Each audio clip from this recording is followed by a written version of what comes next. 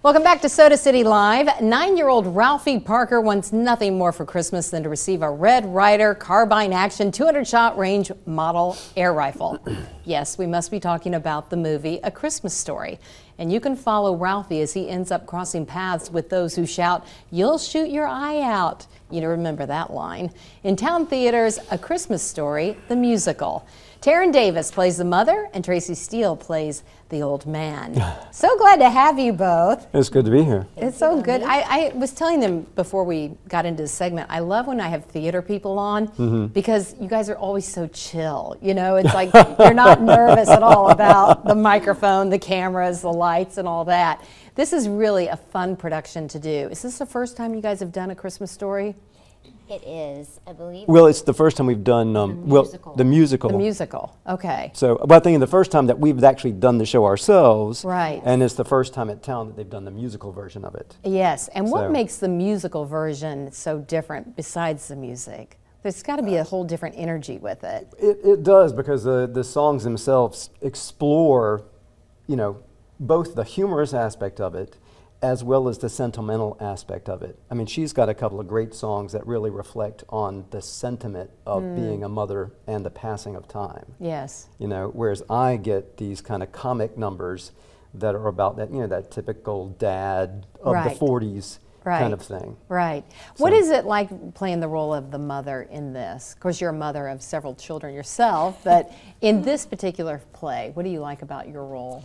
I went back through an old photo album and found a picture of my grandmother who had the hairdo flipped up and a picture of my father who would have been in the same age. And it was kind of a standing joke when we were children to think my grandmother vacuumed with her hair done in pearls and heels, whereas yes. we're running around in yoga pants. So oh, that's great. There's some things that have changed, but mothering has not changed. Like she's trying to be the glue that holds everything together. So the mm-hmm. dad has a hard day at work, the kids have a hard day. She's stressed out because she's trying to make a perfect Christmas. There's right. so many things that are timeless. Yes, uh, timeless, very yes. much so. Let's talk about some of the show and tell that we have. And of course, these are iconic props that we remember from the movie and of course the play.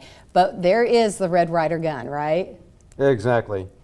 Um, that is so often mentioned, you know, in the in the movie, and there's the entire songs about it. Yes. In the show itself. And then and the lamp, the yes. leg lamp. I mean, it just you just put that picture on, and everybody right away knows what we're talking about. And picture me walking up the street to get here, carrying with that, that, with that lamp. So um, I'm sure you got some looks. we're looking at some of the uh, pictures, the video um, of some of the scenes. Now, this will follow closely the music version, or excuse me, I should say the movie version, and it's narrated by Ralphie as an adult, right? Tell me more about how that's going to work.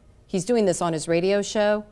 He is. He's thinking back to his most special Christmas where he received the gift that his mother did not want him to have, but his father was saying it's okay. It's okay. right, right, right. So, you, do you have a favorite part, both of you? What if the whole move, the whole uh, production? What would be your favorite part, Taryn?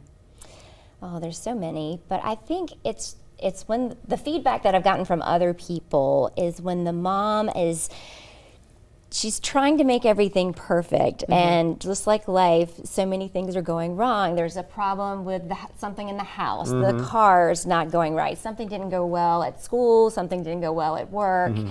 and she's like this is a mess. But they realize this is our mess. Yeah. And yes. the, the stuff um, you know we have people to go through life with and these are the kind of memories that you laugh about, maybe not at the moment, mm-hmm. but for the next 20 years. Remember the Christmas where everything yes. went. That's good. Just so. That's good, sweetie. Well, what would be your favorite part, Tracy?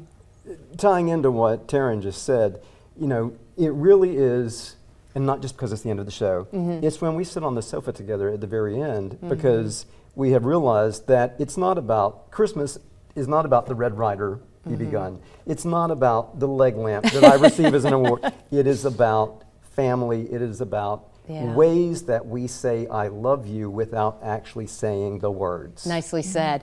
You So- guys already started this production. It ran last weekend and it continues. So let's put the information up on the screen. A music, a Christmas Story, the musical, Mm-hmm. continues starting tomorrow through Sunday, December 18th. The shows on Thursdays, Fridays, and Saturdays are at 7:30 p.m. and shows on Sundays are at 3 p.m.